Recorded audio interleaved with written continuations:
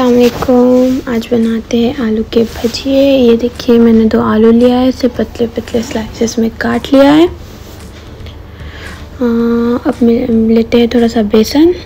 उसमें मिलाते हैं थोड़ा सा नमक थोड़ा सा लाल मिर्च हल्दी एंड जिंजर गार्लिक का पेस्ट इसमें सोडा नहीं मिलाना है वरना क्रिस्पी नहीं होंगे। आ, ये थोड़ा सा पानी। ये ले मेरा बेसन रेडी हो गया है। मैंने ऑयल गर्म होने के लिए रख दिया था। अब करते हैं डीप फ्राई